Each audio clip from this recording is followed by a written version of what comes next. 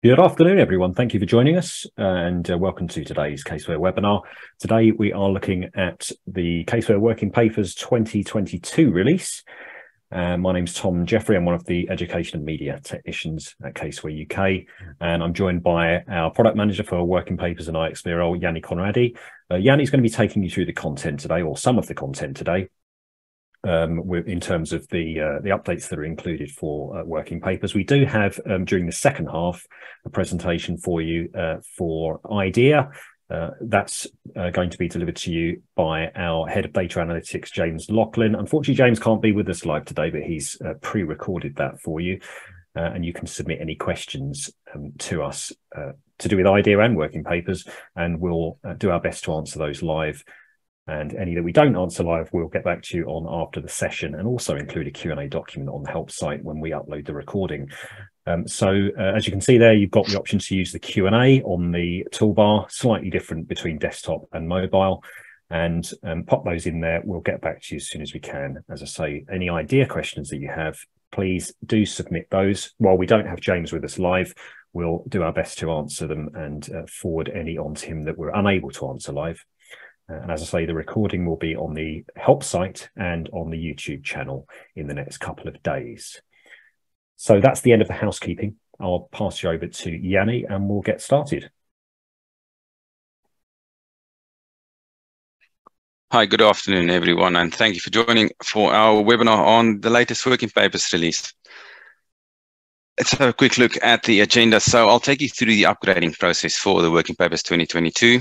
Um, quick look at the new features and fixes that we've introduced. Then we're going to have the IDEA demo, and then if time permitting, some questions and answers at the end. Okay, so the new software, the new release for Working Papers was Working Papers 2022.00.179. And then we've also released the template bundle with that, which is TO141. Now, if we look at the timeline of what we've done before and after releasing Working Papers. So we've released Working Papers beginning of December. Going a while back, we've released the, our last corporate EPAC um, before August. Then we released our last, um, sorry, that was a tax EPAC uh, before August. Our last corporate EPAC for corporate clients and IFRS was 40604 at the beginning of October, and then the Charity and Academy EPAC 40603, middle of October. Now you'll see that we've got a T there next to 40604 is because we've released a TPAC as well with the EPAC. Now, a TPAC is if we release new mapping codes for that particular template, then you need to install the TPAC with the EPAC. Otherwise, you know, you're not going to get all the new disclosures coming out. Okay, so the importance of showing you guys this is in beginning of January, we released our new EPAC 4601 or uh, 40701, sorry, with another TPAC and then we've also, we are planning to release in March, the next corporate EPAC for 702. And then uh, further on will be the charities and academies. But the point I want to make here is that you cannot install our new EPAC for 701 if you're not up to date with your previous EPACs.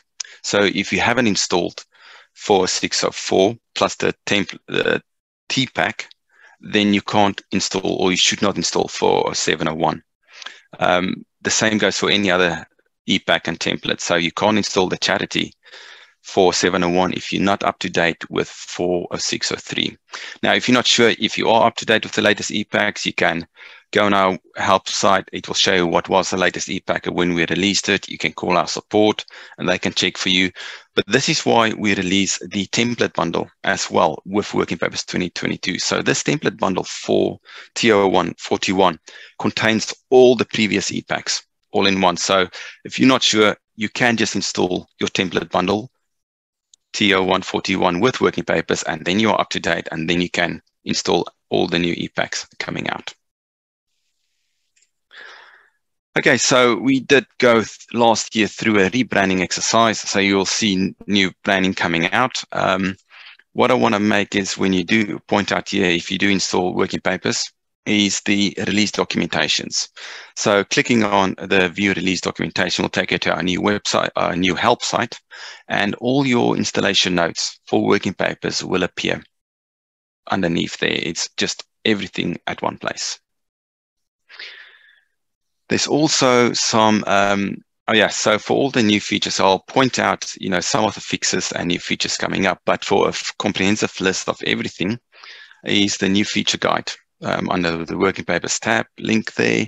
And then also what I want to point out here is the Caseware working papers interactive guide. So this is a guide that was made by our EMT team. Well, Tom did make this one and it's quite comprehensive. So for new starters, we do recommend to go through that. Or if you just forgot about how you do something or what is something relevant, um, go through it again. So just to point out what it contains. So it has an intro where it will talk about some initial questions for you, you know, all your licensing options, what you need to do, how do you need to register, um, installing the applications, amending permissions for your users, installing the templates. Um, under Caseware data store, it will talk about what is a data store. Um, it will take you through, do you actually need it? And then if you do, how to create it.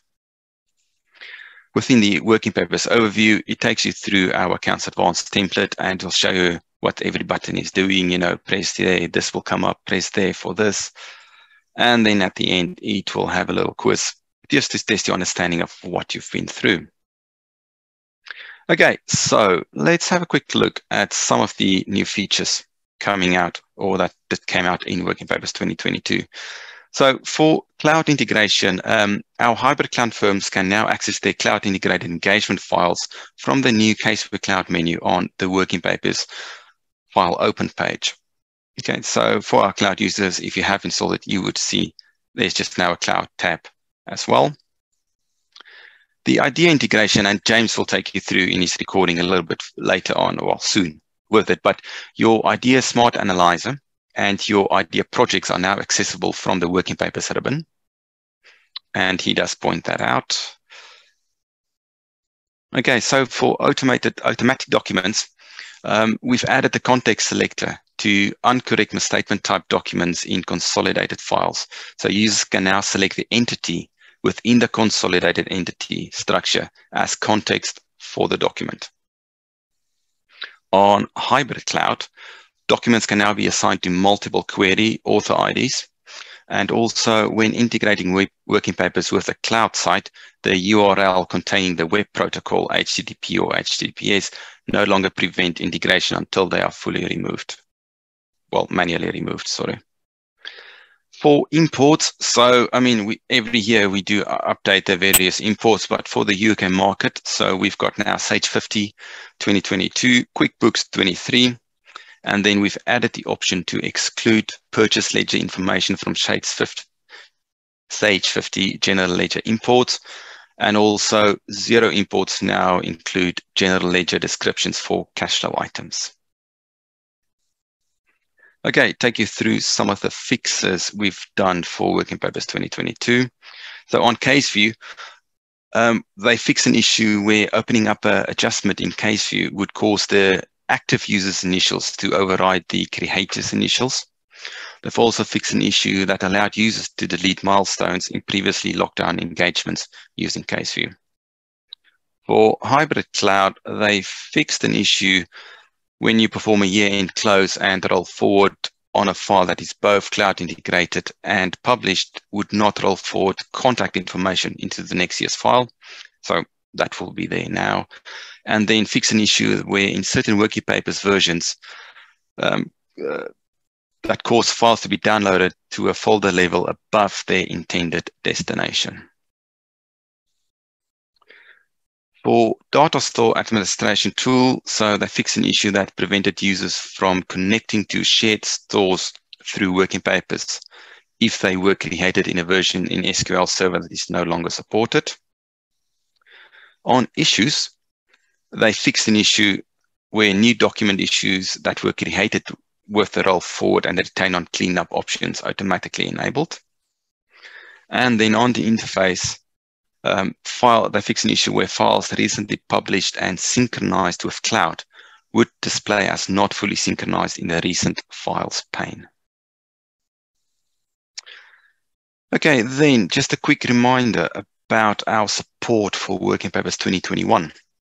So we will withdraw our support for Working Papers 21 on the 31st of May this year. So your Working Papers 21 will still work after this date, but all the EPACs from June onwards will only be in Working Papers 2022. So we do urge you to upgrade as soon as possible.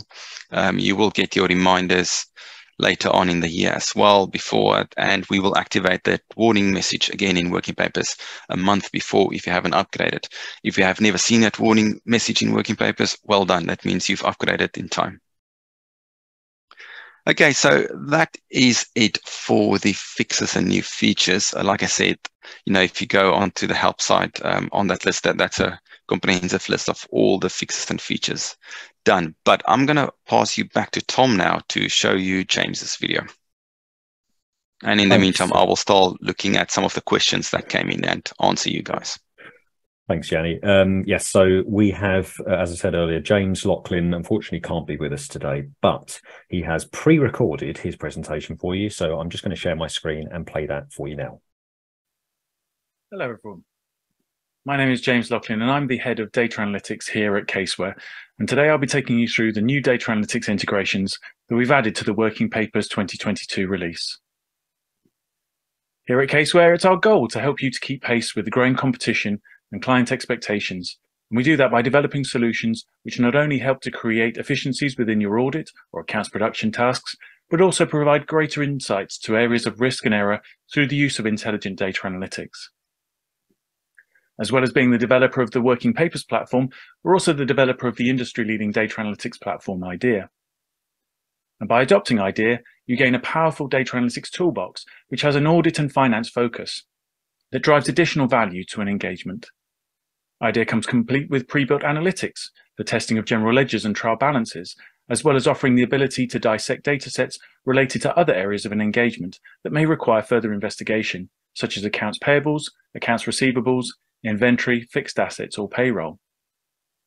IDEA also offers ad hoc anomaly detection features with the added ability to import data from several sources and allow users to standardize their methodology and use the same approach to data analytics, removing the comp complex processes and limitations inherent to generic spreadsheet software. Up until now, working papers and IDEA have been used to complement each other, but have always been separate platforms. And to address this and to provide greater efficiency, last year with the release of Working Papers 2021, we began integrating IDEA into the Working Papers workflow by providing the ability to export a number of Working Papers databases into IDEA for analysis. This information included trial balance details, journal entries, account mappings and balances, as well as engagement properties and document information to name a few. These databases could be exported directly into IDEA for analysis, the results of which can then be passed back to the Working Papers engagement as a text, Excel, or IDEA database file. But there was no clear and integrated workflow between working papers and IDEA, and no clear path to the available data analytic functions and sampling methods that IDEA offers. So, for the Working Papers 2022 release, we set clear goals to enhance these new integrations. We wanted to integrate working papers and IDEA for a more unified experience, empower users to utilize the capabilities of IDEA without a training overhead, improve efficiency by reducing time spent working in different platforms, and provide users with the ability to execute IDEA analytics from content within an engagement workflow. And we're pleased to announce that with Working Papers 2022, we've now included further enhancements that help us to achieve these goals. On the Home tab in Working Papers 2022, you'll now find a new Analytics group, which contains two options. One option, which will let you link an engagement file to IDEA and open the platform to allow you to run ad hoc analytics and generate samples, or the second option, which will open the Smart Analyzer section in IDEA to be able to run pre-built analytics within the engagement. And I'd like to take you through a quick demonstration of where this new functionality is located within Working Papers and how it works. So here we are in Working Papers 2022. Uh, as I mentioned previously, here are those new controls that we have on the Analytics group on the Home tab.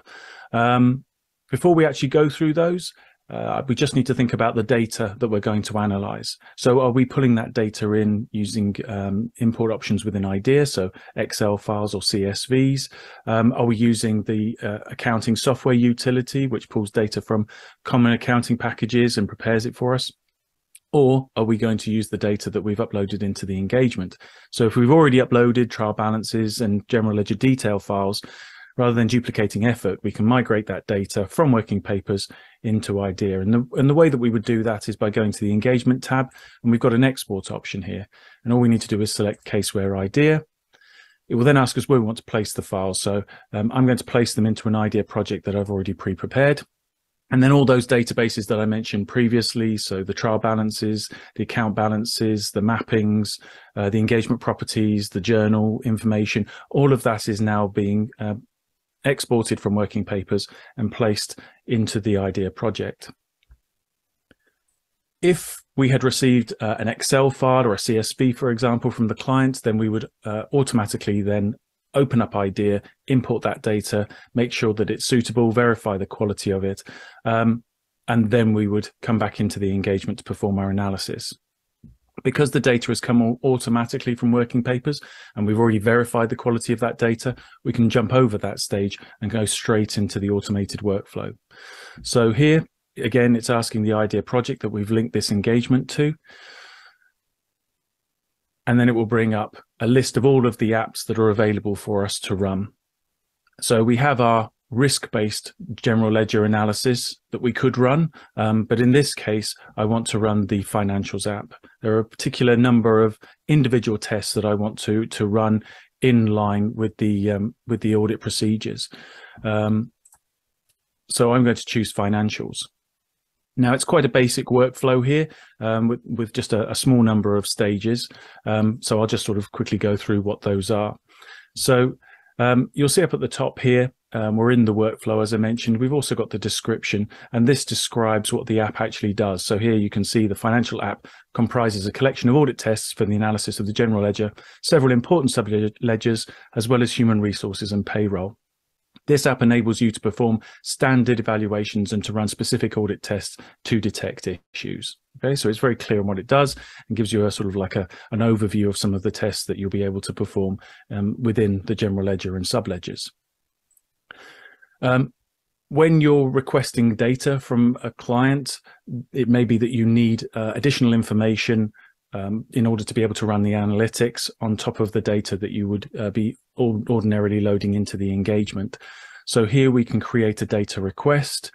We can select here, uh, we want to create a general ledger request and then it creates this uh, document with a list of all of the fields that the analytics need. And it marks the ones that are mandatory um, so that we know the core fields that would be required and everything else is optional. So let's say, for example, we weren't able to uh, to access the posted time um, from the client system, then it just means that any time related analytics um, will be grayed out when we start running the tests but it doesn't limit us to not being able to run any of the analytics. We can mark our progress if we're collaborating, sharing tasks, um, or it might be that we're performing certain tasks, but not all at the same time. Then we can keep a, a progress of, of where we are. Um, we've got this standard import routines stage, which is next. Um, and as I said, um, because we've pulled the data directly from working papers, uh, the the workflow knows those files and is going to be able to load them and, and transform them ready for um, analysis. And it does the same for our accounting package import utility as well. So it recognizes the files that we're going to use, and then it will ask us to, to select which ones apply to the specific um, files that it needs. So here, for example, these are the, the table prefixes that I mentioned before. So GL, AM, SH, they're the only three that are used in this process. So I can select those like so. Uh, and then it will now merge all of those uh, reports together to create one final file, uh, which the app will then reference. Next stage is actually to run the tests. So we can click on the run audit tests here. and because it was general ledger information that it's imported and prepared, these are the only analytics that it's actually displaying to us rather than all of the sub-ledger analytics as well. So we have particular reports here. So we have a number of different analytical tests. Some of them are based on sort of risk, uh, looking for certain types of occurrence which might um, indicate uh, more high risk postings. Um, other reports might be trend analysis, which although won't identify specifically um, exceptional records and postings, may give us an overview that if we see certain types of occurrences that um, that then they will uh, highlight areas that we need to focus on. So, for example, um, you know, out of balance journal entries or duplicates, you know, standard exceptional reports. Whereas, um, say something like uh, uh, um, summary by account number or summary by account combinations um, a more trend analysis and it's up to us to then look up and down and see if there's anything there that looks unusual. Um, for the purposes of this exercise, I'm just going to select those two tests. Maybe I'll bring in the, the rounded amounts test as well. Um, you can see here it's it's optional um, input, so we can choose the divisor that our rounded test would be based on. Uh, some of the tests will have optional param parameters, some are not required, and some will be required. Okay. Um, next thing to do is then to run the analytics themselves. Um, and you can see we've got a progress meter over on the right hand side. Um, and as a test is completed, if we have the test selected, you'll see that it gives us the results at the bottom right hand side. So this test, for example, has returned zero records. So there's no out of balance journal entries in this data set, which is great. Um, at the bottom of the screen here, you can see the audit objectives. Um, this ex explains and describes what this test does and the value it, it provides to the audit with some examples of the type of information that it run against, what you would expect to receive out of the end um, of the analytic, and uh, some best practice information in some cases as well. Once the tests have then completed, uh, we can close this screen down and go to the next stage in the workflow, which is the analyze audit test results. Now, at this stage, some of the data sets might be quite large, so we can actually come out of the workflow, we can launch the IDEA project, and then we could manually then analyze the data. Maybe we'll generate some samples, um, but some more targeted samples from some of those larger exceptional reports. Um, at this stage, I'm just going to output the results. And the reason that I'm going to do that is so that I can then move those across into the engagement. And you can move you know excel files pdfs even IDEA files over into the project depending on what what you want to do with those files. Um, here if i select the output from the analytics you'll see that um, it gives us two options here. We can create a print report um, which gives a sort of high level view of all of the analytics but doesn't contain all the detail. Um, or you've got this option here which is what i'm going to use and what this will do is it will export all of those reports into an Excel format. And it's that that I'm going to move across um, into the engagement. So if I open the export folder, you'll see here it is in Windows. Um, and if I open up one of these tests, let's go with the rounded amounts as we were talking about that before. Uh, and you'll see here that it's uh, we've got a tab which gives us picks a load of that information from the uh, the run audit test stage. So the name of the test, any parameters that we might have passed, how many results um, were reported at the end, as well as other metadata like who ran the analytics, when were they run, what IDEA project did they relate to. And then on the second tab, we then have all of the detail. Um, as you can see, it's nicely formatted. Um, so these are the 33 records with with a rounded amount and it's up to up to us to then have a look at these and say well you know are these manual adjustments that we should be looking at? Um, are there any sort of high risk occurrences in there? So if I close this stage down and I'll have to close the workflow down as well so I can then interact back with working papers. So if I select those three files there. And I've already created an ADA results folder specifically in section N here. Um, so all I need to do is then just move those across and then they'll be given a unique reference and added into the uh, into the engagement itself. And that's that's from start to end. That's sort of your analytical, you know, your pre pre-built analytical um, run through workflow. Okay? If you wanted to work outside of the apps and and uh, make use of some of the other ad hoc capabilities that IDEA offers, as you can see, all you need to do is press the launch button and that will automatically open the IDEA software. Obviously, you need to have that installed on your on your PC as well as working papers. Um, and at this stage, you know, you can open files and then you can perform certain other analyses. In IDEA, we have a dedicated analysis uh, toolbar uh, with a number of very powerful functionalities um, from statistical analysis like Benford's Law or time series trend analysis um, we've got specific duplicate tests, um, standard duplicates, fuzzy duplicates. We can look at distribution analysis. We can merge data sets together. We've even got sampling methods within IDEA as well, ranging from monetary unit sampling, classical variable, attribute, uh, systematic interval sampling, um, random, stratified random, um, and even Benford's law by some is used, being used by some firms as a, as a way of generating samples as well.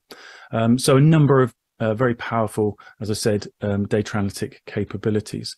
So hopefully um, that gives you a good understanding of how now working papers and IDEA can work um, uh, very closely together, how it creates a very um, efficient and effective workflow and helps you um, on those more high risk pieces of work and engagements uh, to be able to avail of data analytics that will help you to understand risk and to gain those better assurances over the quality of controls.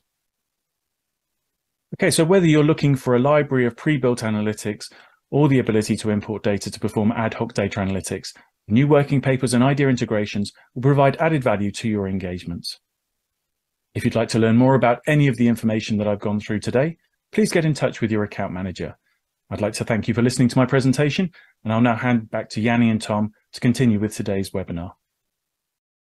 There we are. So uh, a, a, a, quite a comprehensive overview of the uh, of the IDEA platform and its integration with Working Papers, and where you can find it in the new version of Working Papers. As uh, James said in his recording, there, if you have any questions, um, then you can. Uh, if you have any queries about the platform, then of course you can submit them here, and we'll forward them on to the relevant contact. Uh, if you want to discuss um, acquiring IDEA, um, then speak with your account manager. We do have a couple of questions that have come in. We'll just quickly cover those off. And um, uh, uh, we've um, we've replied in the Q and A panel, so we'll just quickly summarise the questions and answers.